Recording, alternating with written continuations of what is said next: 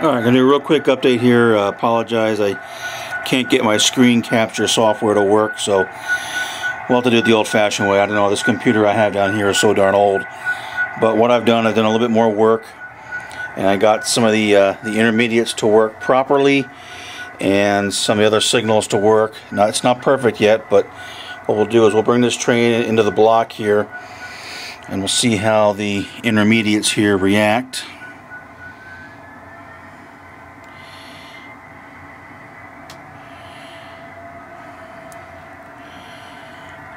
Okay, so he comes in. You can see they both go green, which is correct, because there's no other train in the block on the other track. I'll get him moving along here. Uh, here comes our 80 Mac with our, our test train here. And then he's going to come through the intermediates here.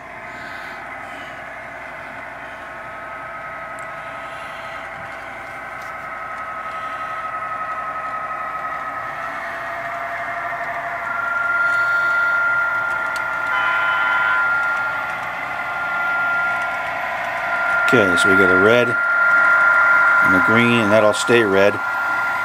So I have some detected cars at the end of it. And the whole train will go through the intermediates.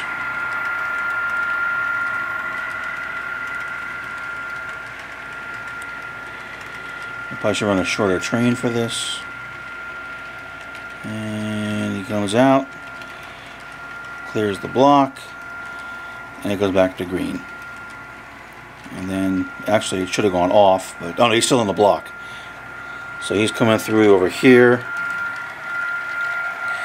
And as soon as he goes through there those go on. And now I got those to be correct. So he's coming through here. And that signal these aren't the way I want to do it but because uh, they're all green for now because I'm still having issues with the uh, direction of traffic, but that does drop to red there. And then I don't know if you can see way back there in the back, the ones at 94 went off. So he'll come around here. And obviously this side is still dark. Not on yet.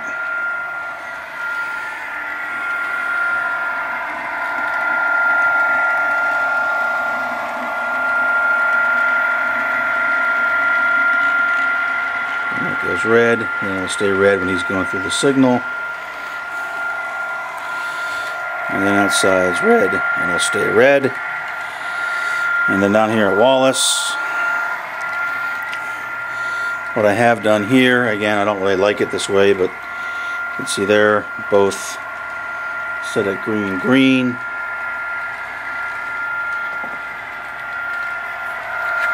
And as he goes through there, that'll just drop to red. And then another thing on that signal there on the right hand side, if I throw this switch here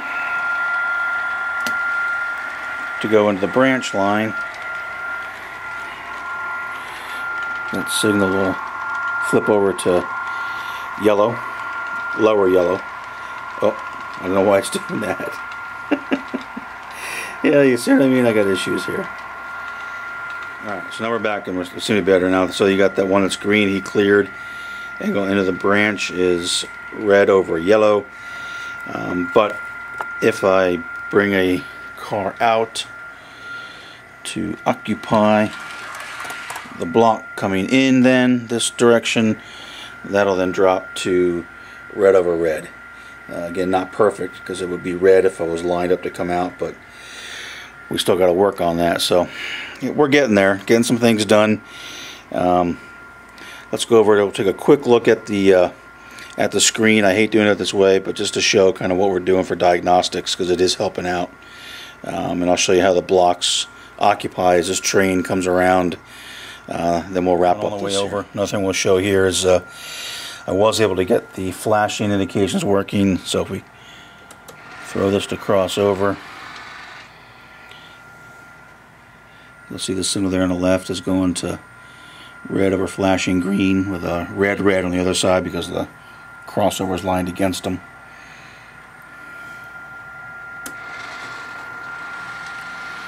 Then they both go back. Now that went red because the train's coming in the block here.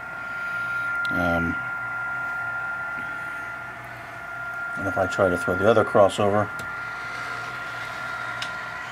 I'll get a red red on the other side there. And I better throw it back or this train will derail.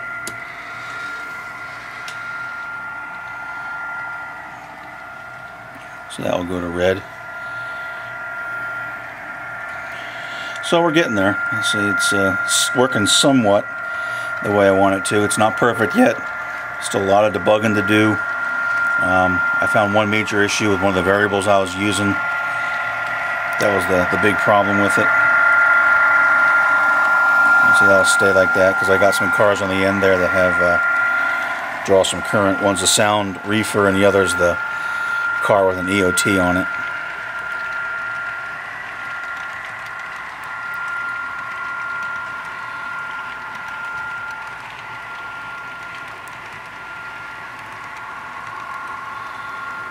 And as they clear up, that goes back to green. Again, not the, really the way I like it, but for now, that's what we're going to live with till I do some more work. So here's the screen I made up for monitoring things as, uh, as we're working here. Um, we have our direction of traffic variables, which are not right.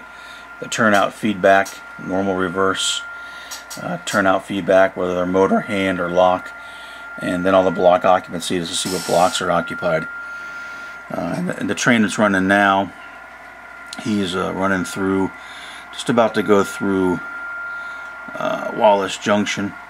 So he's going through occupying that there. And then after that, he'll probably pop down to what he just did. He's went into block 6 here.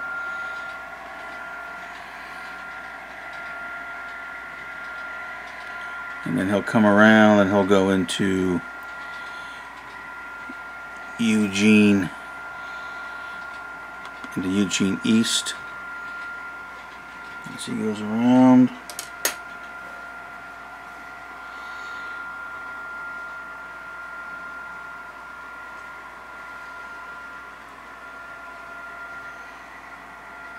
Right about now. And that goes occupied there. So this way we can follow things around and you know, as they throw as we throw turnouts, we can watch them change and uh, lock and unlock or manual hand on some of the, the turnouts. So I apologize for showing it this way, but uh, this is pretty helpful. So we just kind of leave this up as we're running running the layout. gives us a chance to look at, uh, at the condition of the different variables and whatnot. And uh, so that's what we got for now. So again, more work to do, a lot more to uh, debug here. Um, but uh, we'll keep plugging away at it and one of these days we'll get this right. So there we go. That's uh, for this week. And I have more to follow uh, with a, perhaps a scenery update and uh, we'll see what we can report back on Sunday.